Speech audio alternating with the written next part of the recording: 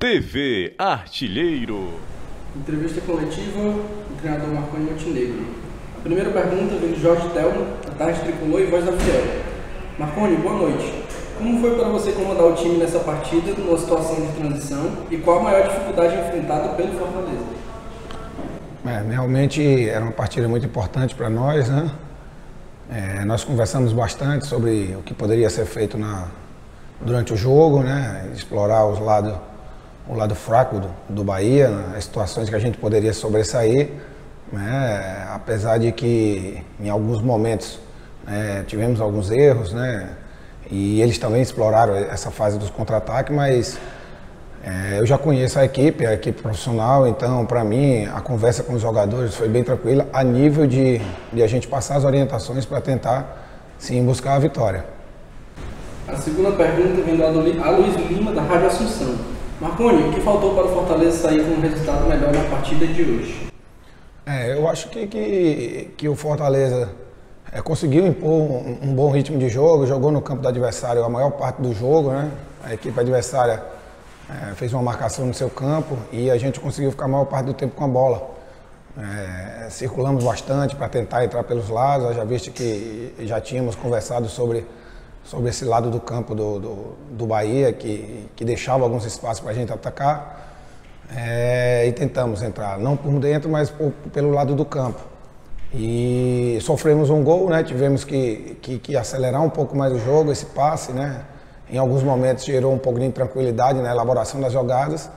É, conseguimos empatar e, infelizmente, imediatamente é, ao empate, onde estávamos é, nos posicionando melhor na, na, na, partida, tomamos um gol de pênalti. Né? Isso sim gerou um pouco de intranquilidade e a gente teve que fazer algumas mudanças para melhorar esse equilíbrio, mas buscar, acima de tudo, chegar no gol adversário.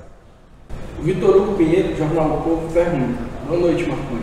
Que fatores podemos atribuir o nervosismo na reta final do jogo, principalmente após o segundo gol do Bahia? É, a gente sabe que o período de um fim de uma partida né, é muito decisivo no sentido de que você é, se expõe um pouco mais, você arrisca um pouco mais, né, é, você busca o gol, né, o empate para tentar reverter e buscar a vitória em seguida. Então, é, você se expõe um pouco mais né, com o objetivo de empatar. É, então isso gera sim um, uma certa intranquilidade, algumas ações você erra até mais em alguns momentos, a gente sabe que, que isso acontece, mas o objetivo ali de você, antes de errar, é você tentar chegar à igualdade do placar e em seguida virar. Para isso você realmente se expõe um pouco mais e, e, e, é o que acontece, um pouco mais de nervosismo, mas buscando sempre a vitória. Anderson Azevedo do Futebolês pergunta, como você participará diretamente nessa transição sem chamusca e a ajuda do Nelson, que esteve presente no jogo de hoje, influenciou na escolha do time qual foi a campo? Não, na verdade, é, não só a ajuda do Nelson, né, mas o departamento de análise de desempenho no Fortaleza, né? É, a gente tem que, eu acompanho todos os jogos do profissional, então a gente sabe o que é, o, o que está acontecendo no dia a dia, né? Eu sou um profissional de dentro do clube, no qual eu, eu tenho que estar tá sabendo o que acontece no dia a dia. Então, juntamente com a análise de desempenho, é, em cima da análise também do adversário, né? A gente colocou, é, é optou por essa equipe, né? Para começar o jogo e as mexidas também foi em decorrência do jogo, mas eu acho que a, a, o mais importante é, é, a gente que trabalha no clube, juntamente com a análise de desempenho, né? poder fazer as escolhas em cima da nossa equipe, principalmente do que a gente quer contra o adversário. Para finalizar, Ricardo Tavares, do Futebol Portal Cearense.